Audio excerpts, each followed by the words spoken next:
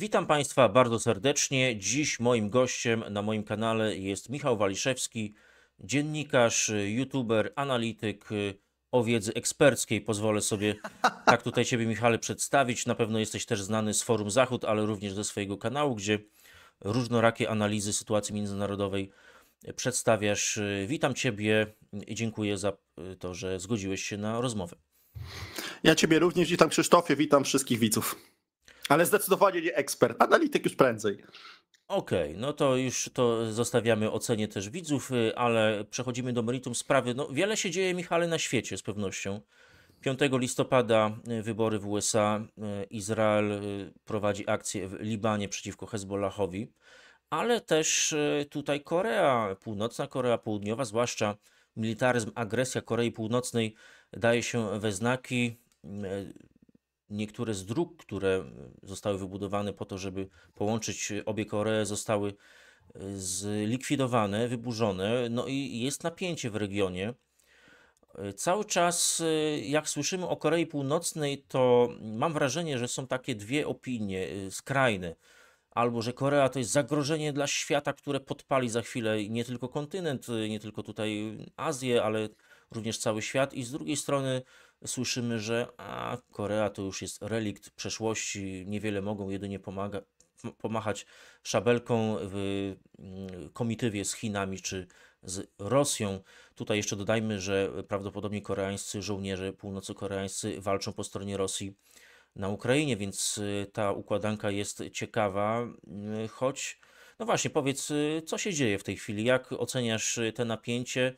Czy szykuje się nam w tamtym regionie jakieś większe, e, jakieś większe kłopoty? To znaczy, przede wszystkim, to tak, przede wszystkim chciałbym powiedzieć, że rozmawiamy e, po 14, 20 października w niedzielę, bo to też, proszę Państwa, ma znaczenie, choćby z uwagi na to, że czasami Kim nagle podejmuje pewną decyzję, która jest w oderwaniu od wszystkiego, co się uważa. I to jest też bardzo ważna kwestia, jeśli chodzi o w ogóle analizę polityki północno-koreańskiej. Oni są odcięci w dużej mierze, oni zupełnie inaczej postrzegają pewne sprawy i teraz widzimy na przykład efekty tego. To znaczy, my tutaj na Zachodzie się najczęściej obawiamy, że Korea Północna może rozpocząć jakieś działania przeciwko Korei Południowej, tylko że militarnie oni absolutnie nie byliby w stanie. W No jak to, Michale? Przecież y, Korea od lat inwestuje w armię. Czy to jest trochę taki kolos na glinianych nogach, ta armia? Bo no, słyszymy o y, ogromnych pieniądzach y, wydawanych właśnie na armię przez Koreę Północną.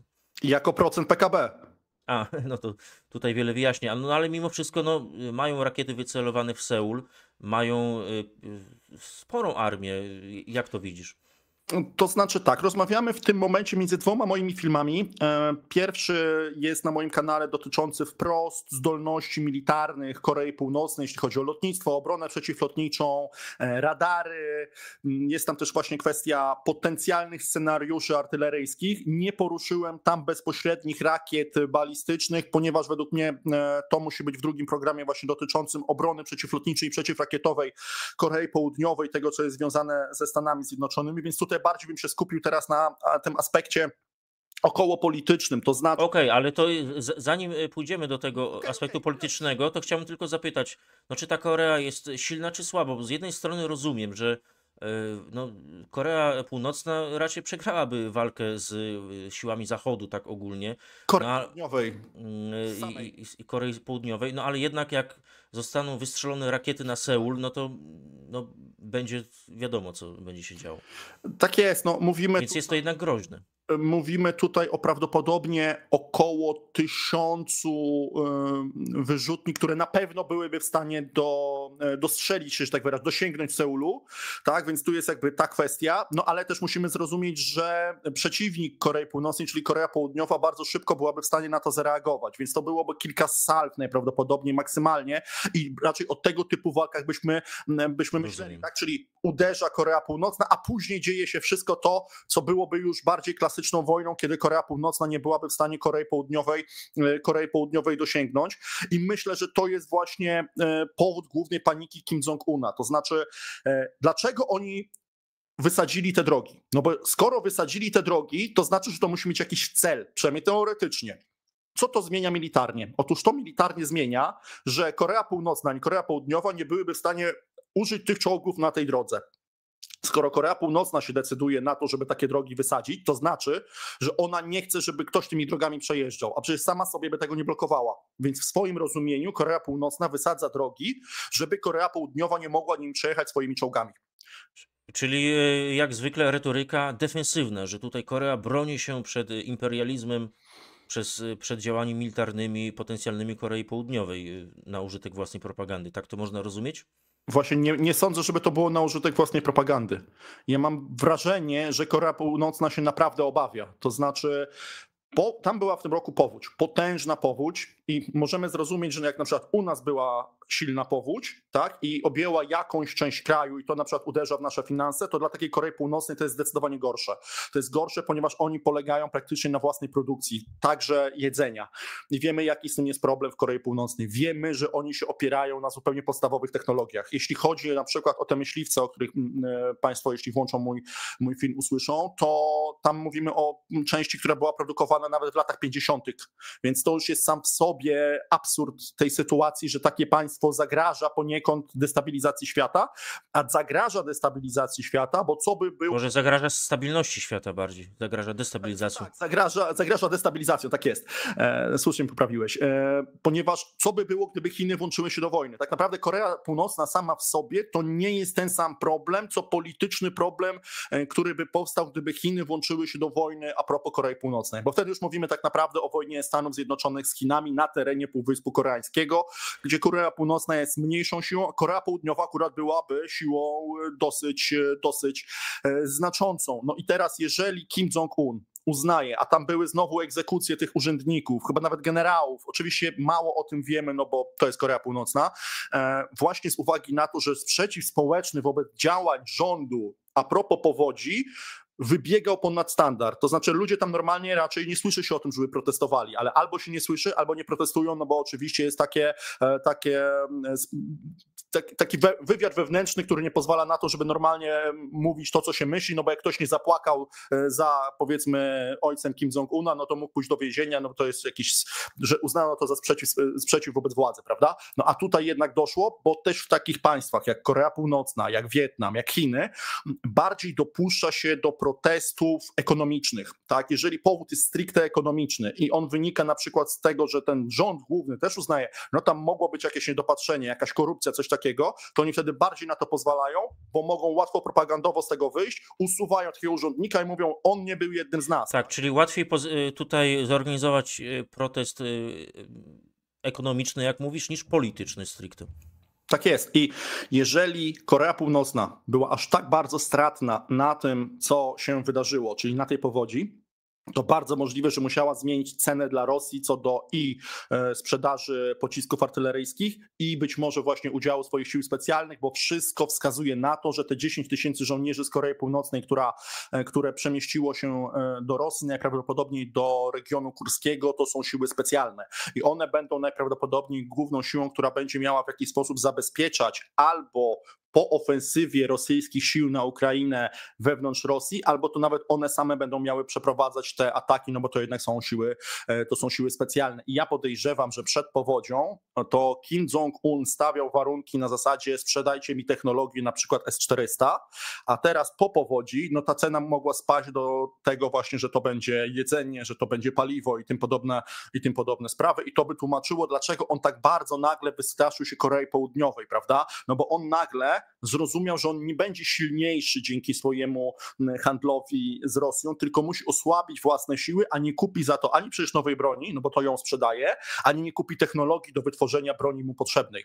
To ciekawe, jak e, tutaj naruszyło e, taką powiedzmy wewnętrzną stabilność, czy też świadomość własnej siły, tak powiedzmy, tego reżimu północno-koreańskiego, to zjawisko naturalne, o którym powiedziałeś, czyli o powodzi. No ale Michale, czy tutaj po prostu no, zapytam, zapytam wprost, czy grozi y, nam jakaś, ogólnie światu, jakaś wojna, eskalacja y, tego konfliktu pomiędzy dwoma Koreami? Jeśli z czyjejś strony, to no może jeszcze inaczej to, to odpowiem. Jeżeli na przykład w Korei Południowej, a tam jest bardzo napięta sytuacja polityczna, ponieważ tutaj Państwu chciałem coś przytoczyć. Mianowicie e, w tym roku były wybory do e, parlamentu. I w tych wyborach do parlamentu tutaj też jest warto powiedzieć, że jest e, w polityce koreańskiej podobnie, podobna kolorystyka jak w amerykańskiej. To znaczy prawica jest czerwona, a lewica jest niebieska.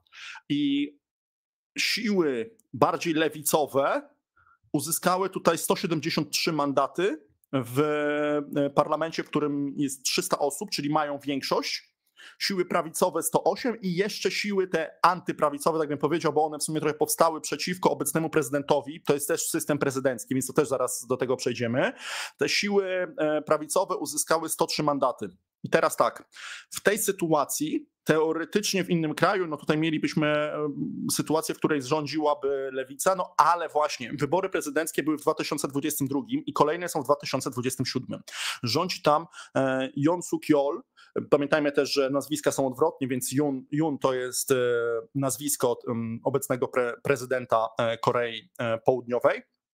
On wygrał wybory w 2022 roku minimalną większością. To było 48,6 do 47,9. Tak? Więc no tutaj już widzimy, jaka to, była, jaka to była różnica. Tam pewnie te pojedyncze procenty to zakładam, że, yy, że to jest zliczenie wszystkich głosów razem z tymi na przykład nieważnymi. Tak? No ale widzimy, jak tutaj ta różnica była drobna. I teraz yy, jest kwestia taka, że do kolejnych wyborów, gdyby dzisiaj doszło prezydenckich, to lewica wygrałaby je miażdżąco. To jest, e, e, kandydat lewicowy ma dzisiaj około 40% poparcia, a kandydat prawicowy hmm. ma 20%. I... Le, lewica, e, czy, czy dobrze rozumuję, że lewica jednak byłaby za jakimś złagodzeniem kursu wobec Korei Północnej? Tak, zdecydowanie. I tak było po, przed obecną kadencją aktualnego prezydenta. Wręcz te wypowiedzi, które teraz e, podaje, podaje, podają nam media, które mają padać w Korei Północnej, pewne też e, Kim Jong-una o tym, że on sobie dzisiaj nie wyobraża zjednoczenia militarnego, padają właśnie w tym kontekście, że pewne słowa, e, pewne słowa Juna są interpretowane jako otwarcie możliwości, że to Korea Południowa zjednoczy siłowo obie Koree. Więc tutaj można to tak odbierać, szczególnie jego krytycy mówią, że to jest wprost zapowiedzenie, zapowiedzenie wojny, ale pamiętajmy, to jest sytuacja sporu politycznego, gdzie to tak jak wypowiedzi Tuska w Polsce później opisuje na przykład e, TV Republika, tak? No to sobie, możemy sobie to mniej więcej do tego... E, tak, rozumiem, że te wypowiedzi też są na użytek wewnętrzny no politycznej sceny Korei Południowej. I teraz zobacz, do czego to może doprowadzić, Krzysztofie. Otóż oni mogą się po prostu kłócić politycznie, a w Korei Północnej, która nie ma normalnego i typowego dostępu do wiadomości, może narastać, może narastać panika. Ciekawe, ciekawe. Ja myślę, że... że... No to znaczy Korea mhm. Północna, bo tutaj też warto to Państwu przedstawić, z tego powodu, o którym mówiliśmy na początku, czyli, że artyleria by uderzyła w Seul tak masowo i, i przynajmniej ten tysiąc MLRS-ów, tak, wystrzeliłby te różne rakiety i tak dalej, i tak dalej, to Korea Północna zdaje sobie sprawę, że musi uderzyć pierwsza, ponieważ jeśli uderzy druga, no to będzie to oznaczało, że samoloty Korei Południowej mogą uderzyć na przykład nawet w te góry, w których są ukryte, jest ukryta ta artyleria i ona będzie miała problem z wyjechaniem ze swoich pozycji, a ta, te, które są na pozycjach, mogą od razu być celem ataku, a Korea Północna będzie miała problem z wykryciem ataku z południa. I to z kolei prowokuje Koreę Północną do sytuacji, w której oni myślą, że muszą zaatakować, bo być może Korea Południowa właśnie to zrobi. Ale Kim zdaje sobie sprawę, że jego zdolności militarne przez handel z Rosją spadają obecnie, a nie rosną, ponieważ właśnie prawdopodobnie musi kupować rzeczy potrzebne do napraw, do napraw wszelkiego typu po powodzi. Chciał, chciałby się zapytać, kim jest kim? Ale jeszcze tutaj zwrócę uwagę na to, że często w takich dyktaturach na szczytach władzy panuje po prostu psychologiczna paranoja. I w tym kontekście rozumiem, że też pewne rzeczy mogą zostać wyolbrzymiane. Ten kontekst psychologiczny uważam też powinien być brany pod uwagę. Ale Michale, powiedzmy, powiedz, jak wygląda teraz kwestia Korei, Korei Północnej i broni atomowej? Czy jest jakieś zagrożenie z tej strony? Tak, ponieważ Korea Północna zupełnie wprost uznaje, że w razie takiej wojny były to prawie przymus, by jej użyć. To znaczy, tutaj mówi się, że Korea Północna, no bo to też po raz kolejny, proszę Państwa, wszystko się opiera na pewnego typu z jednej strony ekspertyzach, a później interpretacjach tych ekspertyz. Dla przykładu, jakiś czas temu, kilka lat temu, była sytuacja, w której Korea Północna stwierdziła, że posiada broń termojądrową, czyli bombę wodorową. Tak, ona jest no, kilkaset razy silniejsza niż zwykła bomba atomowa, taka jak To prawdziwe doniesienia, czy tylko zwykła propaganda? E, Korea Północna poniekąd, aby tego dowieść, przeprowadziła testy podziemne, ale e, e, sejsmografowie, znaczy osoby ogólnie zajmujące się i wybuchami atomowymi, i właśnie kwestiami sejsmicznymi, te opinie łącznie raczej skłaniały się ku temu, żeby uznać, że to było kilka wybuchów zwykłej bomby atomowej, stworzony w taki sposób, żeby uznać, że to jest wybuch za silny na zwykłą bombę atomową, ale jednocześnie nie było pewnych efektów, które powinny być, y, by można było określić, to jest bomba wodorowa. Ale pamiętajmy, jeżeli Korea Północna ma dzisiaj około 50 ładunków atomowych, a tak się, tak się ogólnie podaje, w tym momencie takie są, no, muszą Państwo wiedzieć, no, Korea Północna jest tak zamkniętym państwem, że prawie wszystko to będzie coś w rodzaju, może nie plotki, ale doniesień wywiadu, opisów z satelit, opisów spośród osób, które uciekły z Korei Północnej na południe i jak można połączyć wzajemnie ze sobą te, ze sobą te wątki. Właśnie takich rzeczy jak wybuchy podziemne i później to sprawdzanie sejsmografami. No, do, do tego właściwie no, y, sprowadzają się informacje z Korei Północnej. No i jeżeli Korea Północna ma powiedzmy 50 ładunków atomowych, no to jest też pytanie, czy jeżeli by wystrzeliła 50 rakiet z ładunkami atomowymi, a także czy to byłoby 50 rakiet, czy na przykład byłoby 25 rakiet z podwójnymi. Tak, to jest jedna rzecz. To będzie to strasznego, katastrofa, no, absolutnie no, straszna pytanie, sprawa. Z nich by doleciało, bo jeżeli te rakiety byłyby zacofane, no to co w sytuacji... No wystarczy kilka. No właśnie, i teraz pytanie, ile osób by wtedy, ile osób by wtedy zginęło, prawda? Gdyby te rakiety poleciały, pytanie, gdzie by trafiły. Tamten, tamten obszar, czyli Seul i cała metropolia wokół Seulu jest niezwykle gęsto zaludniona, prawda? No więc tutaj dochodzimy do, do, takich, właśnie, do takich właśnie aspektów i dlatego obie Koree mogą myśleć, że muszą zaatakować jako pierwsze. I to jest w ogóle ten wewnętrzny szach przeciwny na przykład do Rosji kontra Stany, bo i Rosja i Stany uważają, że no jest sytuacja, w której mogą być potencjalnie na jakiejś nawet proxy war, która to proxy war spowoduje, że oni się sprawdzą, ewentualnie będą słabsi finansowo po takiej wojnie, ale jest to dla nich mo możliwe do przeprowadzenia bez używania atomu. A tak naprawdę w sytuacji, w której Korea Północna e, posiada broń atomową, a reszta ich armii jest tak słaba, to ona de facto nie będzie miała wyboru militarnego, jeśli będzie chciała przetrwać jako reżim. Bo jeżeli tylko do takiej wojny dojdzie, to na pewno Korea Północna ją przegra, tak czy siak. A jeżeli Korea Północna na pewno ją przegra tak czy siak, to znaczy, że w momencie, w którym wojna wybucha, Kim wie, że przestanie być dyktatorem w tym państwie. Więc, Więc stać go na wszystko być może. No właśnie. E, to jest bardzo niepokojące. Powiedziałeś o Stanach e, e, szykują się wybory, no już trwają właściwie wybory w USA, ale 5 listopada będzie takie główne głosowanie.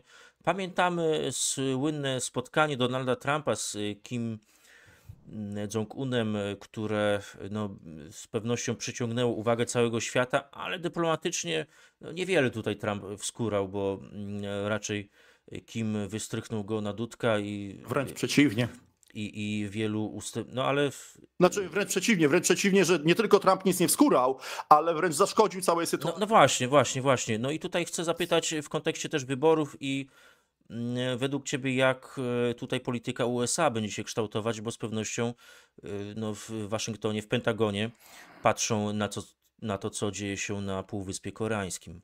I będą patrzeć też, jeżeli być może Trump e, wygra wybory. To znaczy, tak czy inaczej, na pewno ten temat jakoś się będzie pojawiał, ale tu warto, może jeszcze inaczej zacznę. E, jakby tych podstaw. Dlaczego uważam, że wizyta Trumpa zaszkodziła? No bo Korea Północna zrozumiała, że może rozmawiać ze Stanami Zjednoczonymi bez pośrednictwa Korei Południowej. I to jest negatywne, ponieważ nie muszą z nimi negocjować, więc te kanały zaczęły być obcinane i to właśnie spowodowało, że Korea Północna ma dzisiaj mniejsze zrozumienie polityki Korei Południowej, no i tym samym odwrotnie, prawda? No bo to zawsze te rozmowy z generałami by można było wychwytywać pojedyncze słowa, zwroty, wyrażenia, rozumieć jakie są nastroje tam, prawda? A jednocześnie to by by powodowało e, obniżenie temperatury między e, oboma państwami, prawda? Więc to jest jakby jedna rzecz. Trump to poniekąd zniszczył przez swoją wizytę, która nie osiągnęła nic. I do ponownej wizyty raczej nie dojdzie, no bo Trump wiadomo, że jest człowiekiem, który ma niebywale wysokie ego, więc jeśli uznał to za porażkę, no to nie widzi sensu narażania się na, na kolejną, prawda? No i teraz, skoro jesteśmy w takiej sytuacji politycznej, gdzie Stany Zjednoczone raczej będą kontynuować swoją aktualną politykę, no to trzeba się zastanowić, czy Stany Zjednoczone w ogóle będą się skupiać na Korei Północnej jako takiej.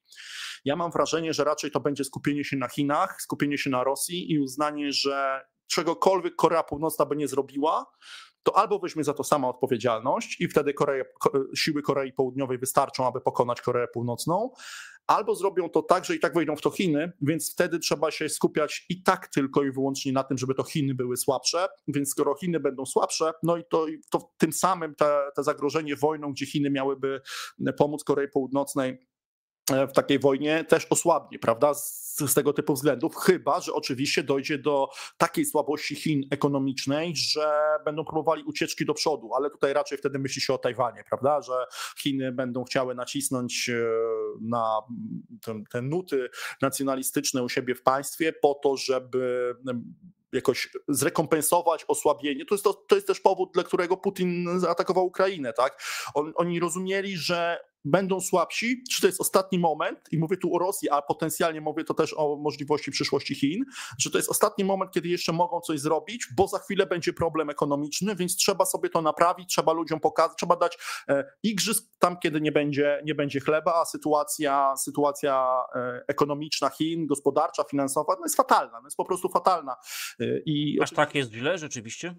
Tak, ja uważam, że jest bardzo źle. E, to znaczy, ja przez lata. No ale Chinom chyba nie grozi jakieś bankructwo. Mają wciąż silne podstawy gospodarki, eksportu. Właśnie, e, właśnie to, to jest ten, ten problem u nich. U nich praktycznie obecnie nie ma inwestycji międzynarodowych. Te się praktycznie zakończyły. Tak?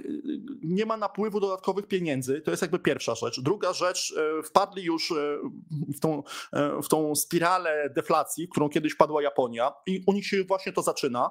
To jest drugi punkt. Trzeci, to społeczeństwo się niezwykle szybko starzeje, więc tak. kolejne, e, kolejne pokolenia będą miały tutaj duży problem. Punkt czwarty jest taki, że, coraz, że kraje chcą coraz mniej importować od nich, szczególnie te zachodnie, a tutaj jest przecież, e, tutaj można narzucić największą marżę, no bo jeżeli na przykład Chiny będą sprzedawać jakieś towary do powiedzmy Brazylii, do Argentyny, mm, no nie wiem, do Senegalu, no to jest oczywisty sposób, że nawet jeżeli jakoś ilościowo będzie im się to do pewnego stopnia zgadzać w kilogramach, dajmy na to, no to nie będą to towary najwyższej, e, najwyższej marży. Dla przykładu, e, bardzo dobrze zarabia się na lekach i na przykład to, jest, to było przez lata główny punkt, którym Chiny mogłyby szachować Europę, gdyby Europa chciała przyłączyć się w razie czego do polityki antychińskiej wobec Stanów Zjednoczonych. No i ponieważ to był ten szach, to Europa to najbardziej chce teraz e, nadrobić i tym samym Chiny tracą, tracą tak, rynek. Tutaj lek fentanyl też jest towarem eksportowym do USA niestety i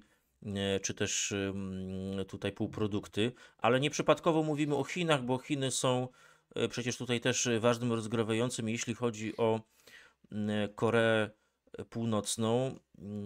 No chyba Korea Północna bez Chin w tej chwili by się nie utrzymała. Jak widzisz tutaj taką bezpośrednią interwencję, czy bezpośredni wpływ Chin na działania Korei Północnej. Czy to może tak wyglądać, że Chiny będą chciały zrobić zamieszanie właśnie za sprawą być może Korei Północnej? Tutaj dodajmy, że wokół wspomnianego Tajwanu no też napięcie rośnie, dlatego że niedawno były y, znów szeroko zakrojone tak zwane ćwiczenia wojskowe, czyli prężenie muskułów, czyli zastraszanie e, przez Chiny mm, ludności państwa tajwańskiego.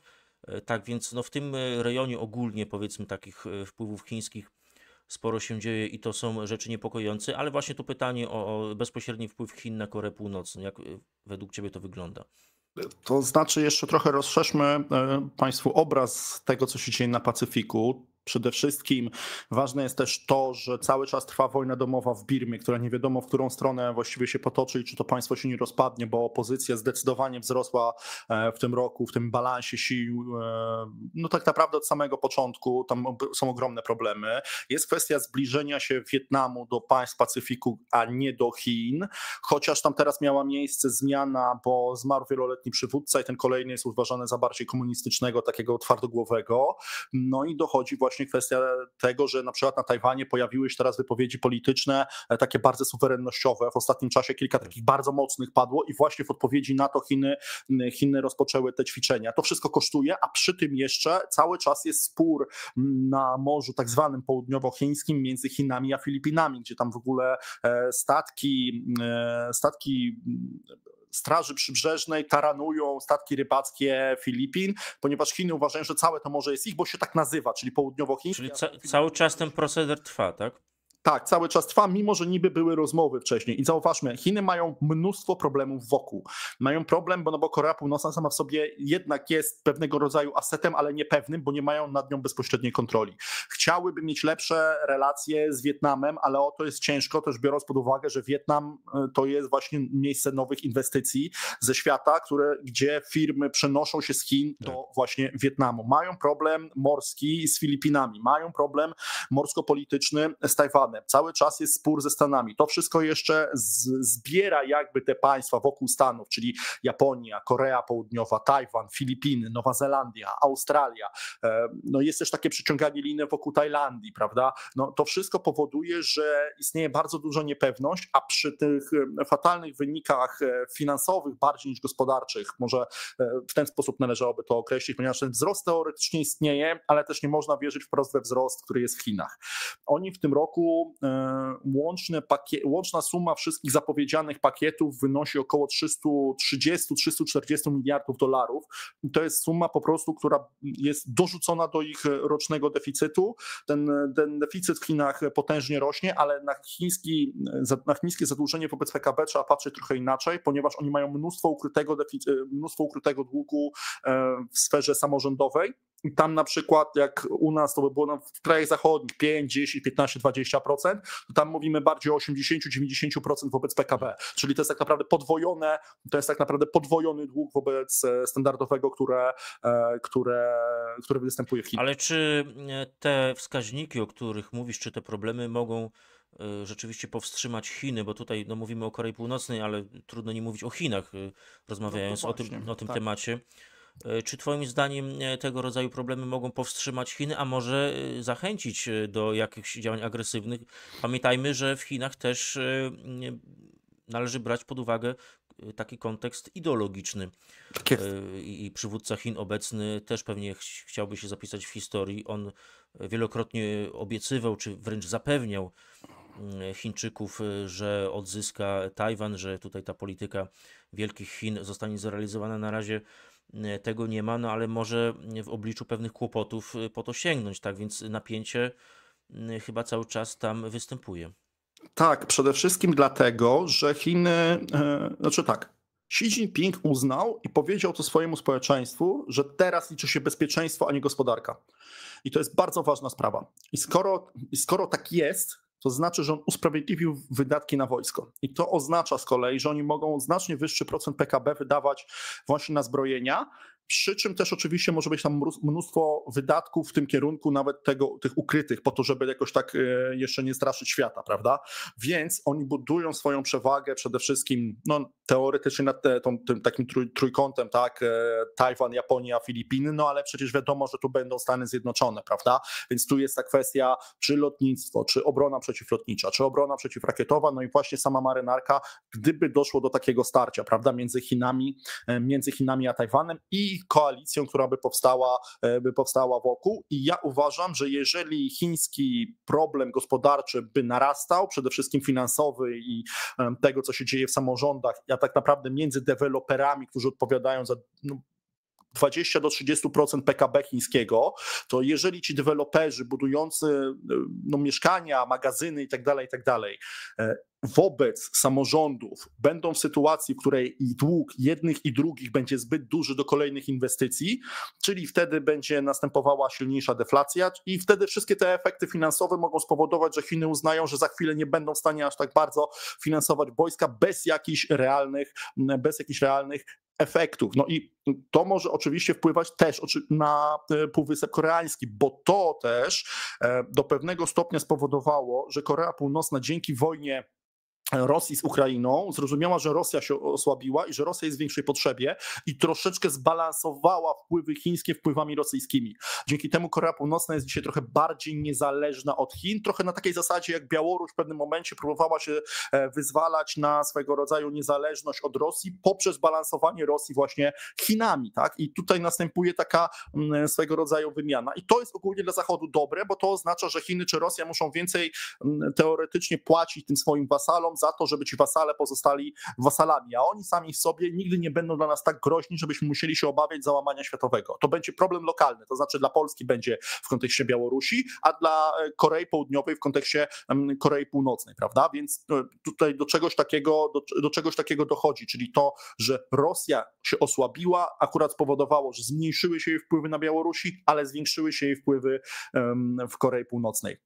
Czyli Michale, clickbaity w rodzaju wybucha trzecia wojna światowa na razie można y, omijać szerokim łukiem jeśli, jeśli nie ma jakiejś takiej skrajnej paniki w otoczeniu Kim Jong-una, to nie ma powodu, żeby myśleć, że dojdzie do wojny. Bo też nie sądzę, żeby prezydent Korei Południowej, który nie ma poparcia społecznego, który nie ma większości w parlamencie, e, próbował dzisiaj, tam jeszcze trzeba taką ważną rzecz e, podkreślić, że w Korei Południowej, żeby odrzucić weto prezydenta, trzeba mieć dwie trzecie e, głosów, a, dwóch, a prawica ma obecnie mniejszość blokującą, ponieważ ma, e, jeszcze tutaj dokładnie sprawdzę, 108 mandatów, a no potrzebuje do tego, jak sami Państwo rozumieją z tych obliczeń, potrzebuje tego 100 mandatów, tak? Czyli nadal jest ta przewaga. Ale co by było, czy cała prawica by poparła w tym momencie prezydenta, gdyby ten na przykład stwierdził, że chce zaatakować Koreę Północną? No śmiem twierdzić, że nie.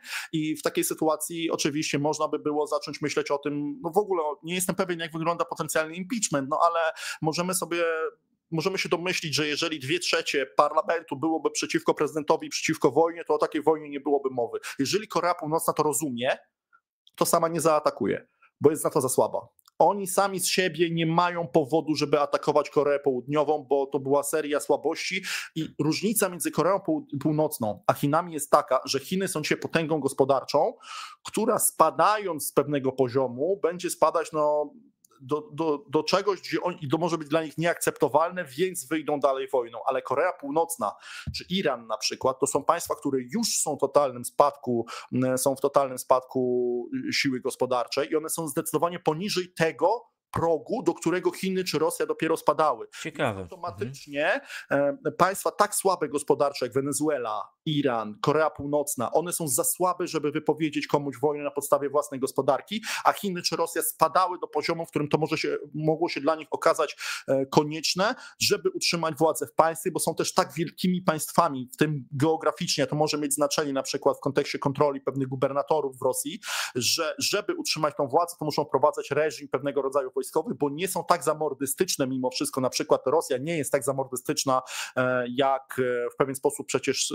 w kwestiach światopoglądowych, chociażby to widzimy Iran. No i oczywiście nie jest, nikt nie jest tak zamordystyczny jak Korea Północna, tak? No więc tutaj to jest jakby dosyć naturalne, e, że reżim w Korei Północnej czy w Iranie nie upadnie jakby z uwagi na spory wewnętrzne, chyba że tam powstanie taki spór jak w Sudanie, czyli po prostu dwie grupy zbrojne będą do siebie strzelać, ale politycznie to jest raczej niemożliwe, a w Rosji politycznie to by było możliwe, że na przykład aresztować Putina e, i oddać władzę komuś dalej z jednej Rosji, żeby utrzymywać e, Kreml przy władzy. Pamiętajmy tutaj to, o czym powiedziałeś, że e, na kwestie militarne też wpływa gospodarka i też mówiąc o potencjalnych zderzeniach państw, należy na te kwestie gospodarcze mm, właśnie mm, tutaj mieć uwagę. Michale, no tutaj kończąc, y, twój kanał nazywa się Świat nie śpi, polecamy serdecznie. Nie, nie kończąc mój kanał. Y, kończąc naszą rozmowę, ale kanał oczywiście jest, ale tu chciałem zapytać, no tak ogólnie, no dobrze, żeby ten świat chociaż jakąś drzemkę sobie y, tutaj uciął, bo no jest sporo tych punktów zapalnych. Dzisiaj akurat nie rozmawialiśmy o Bliskim Wschodzie, ale wspomniałeś o Iranie. Mamy wybory prezydenckie w USA, w których może wygrać groźny populista. E, mamy tę Koreę, którą e, dzisiaj tutaj szczegółowo e, te kwestie mm, omówiłeś. No, czy jesteś bardziej optymistą czy pesymistą, jeśli chodzi o to, co dzieje się na świecie? To znaczy, ja uważam, że od 2008 roku jesteśmy na etapie drugiej zimnej wojny Ewentualnie możemy stwierdzić, od 2014, zależnie od pewnych interpretacji, ale tamto tąpnięcie Zachodu zbliżyło za bardzo takie państwo jak Chiny do Stanów Zjednoczonych i ludzie uwierzyli w coś, co nie mogło się realnie stać, ale Chiny też w to uwierzyły i za szybko się odsłoniły. E, I to z kolei spowodowało, że nie zdołali zbudować takiej gospodarki, która byłaby prawdziwie rywalizująca. Ale w co, w co uwierzyli? Tutaj sprecyzuj. E, że uwierzyli, w, że, że w politycy w Chinach uwierzyli, że rzeczywiście za chwilę mogą dogonić Stany Zjednoczone. Mhm. A teraz możemy zauważyć, jak wielka dysproporcja znowu powstała między PKB, nawet tym udawanym chińskim, a Stanami, a Stanami Zjednoczonymi, które bardzo mocno wzrosły w ostatnich latach, tak naprawdę znowu dobiły do swoich szczytów, gdzie są jedną czwartą PKB całego świata, tak? Więc tutaj jest taka bardzo ważna kwestia. Ja jestem oczywiście optymistą, ponieważ no właśnie chociażby z uwagi na tą potęgę Stanów Zjednoczonych, nie mam wątpliwości, że na, no tak to powiedzmy, zauważmy taką rzecz. Rosja nie potrafi zdobyć Charkowa w Ukrainie. Tak? Cała potęga rosyjska nie potrafi zdobyć Charkowa w Ukrainie. No, oni pomniejsze miasta jakoś próbują zdobywać, to trwa tygodniami, miesiącami, prawda? Teraz dołącza do nich poniekąd Korea Północna. Ich amunicja, ich artyleria już dawno jest używana przez Rosję, a teraz także ich siły specjalne to w liczbie 10 tysięcy, prawda? Więc jakby dochodzi kolejne państwo poniekąd. Iran, który jest naszym wrogiem i który e, wspomaga Rosję, jednocześnie ma, prowadzi swoje, swoje działania na Bliskim Wschodzie, w których militarnie zdecyd- zdecydowanie nie wygrywa. Tak? Dochodzi potencjalnie, no nie wiem, Wenezuela, e, Syria, Białoruś, to są wszystko A co z sytuacją i- Izrael versus Liban? Tutaj no, chociaż wspomnijmy słów, To słówkiem. znaczy, myślę, myślę, że nie ma obecnie jakichś większych wydarzeń. Znaczy, oczywiście w tym tygodniu nie tyle w Libanie, co w strefie gazy został wyeliminowany e, Sinjar, tak, czyli no, ten główny architekt e, odpowiadający za atak na Izrael w zeszłym roku, czyli 7 października. E, ten człowiek nie żyje. To było ostatnie duże nazwisko, które było zamieszane w to wszystko. Tak naprawdę to on odpowiada za tą wojnę, ponieważ gdyby on się nie zdecydował na to, żeby zaatakować, to tego, do tego by nie doszło, bo tego nie planował prawdopodobnie ani Teheran, ani Hezbollah, ani Hamas e, w Katarze, czyli główne dowództwo, główne dowództwo Hamasu ogólnie, tylko właśnie brygady Al-Qassam. Ale to możliwe, że te komórki, o których powiedziałeś, że nie wiedziały o tym, co Tak. się szykuje? Ja jestem wręcz, ja coraz bardziej nabieram do tego przekonania. To znaczy, dlaczego Sinjar, główny wróg Izraela, e, ani praktycznie, znaczy może jeszcze inaczej. Tam w strefie gazy nie działa Mossad, tylko tam działa Shin Bet, które jest słabsze niż Mossad po prostu. Mossad działa w Libanie, Mossad działa w Iranie, Mossad działa w Katarze na przykład, tak? I oni praktycznie cały czas wszystko wychodzi na to, wszystko wskazuje na to, że oni mieli naprawdę zinfiltrowany Hezbollah, że mieli zinfiltrowany na tyle Katar, e, na tyle Hamas katarski, że jeżeli ich przywódca poleciał do Iranu, to od razu byli w stanie go wyeliminować, na tyle Iran, żeby wiedzieć, kogo mają i jak eliminować na przykład e, w przeszłości naukowców, a Sinjar się utrzymał najdłużej, dłużej niż na Sralnach, prawda? No to jest dość zaskakujące. To oznacza, że najprawdopodobniej brygady Al-Qassam nie wierzyły, że e, Katar jest odporny na Mossad, a same uważały, że są odporne na Shin Okej. i tym Mhm. samym wiedziały, że nie mogą informować swoich zwierzchników teoretycznych przynajmniej, bo wtedy się o tym dowie Izrael, a w Izraelu w mojej ocenie na ten moment było tak, że dane z Mossadu i z Shin Betu im się nie zgadzały po prostu ze sobą. Dziękuję Ci, Michale, za tę szczegółową odpowiedź. E, Być może ten temat e, bliskowschodni też poruszymy w jakichś następnych naszych materiałach. Tu też zapraszamy Państwa do oglądania Forum Zachód, gdzie też z Michałem się spotykamy i, i nie tylko z Michałem oczywiście, ale też rozmawiamy na tematy szeroko pojęte, właśnie międzynarodowe, ale też czasem polskie. Michale, no ja dziękuję Ci za omówienie tego tematu, za ciekawe spotkanie, za ciekawą rozmowę. Polecamy e, Twój kanał Świat Nie śpi, Michał Waliszewski e, i dziękuję za, za uwagę. Dziękuję Ci. Dziękuję, dziękuję również i oczywiście zapraszam na oba filmy o e, kwestii koreańskiej i bardziej szczegółowo omawiam tam właśnie zdolności militarne. Ostatnio Korei Północnej, następnie rakiet Korei Północnej i obrony przeciwlotniczej e, Korei Południowej. Dziękuję również, dziękuję Państwu, dziękuję Krzysztofie. Michał Waliszewski, Świat Nie śpi był moim gościem. Do zobaczenia.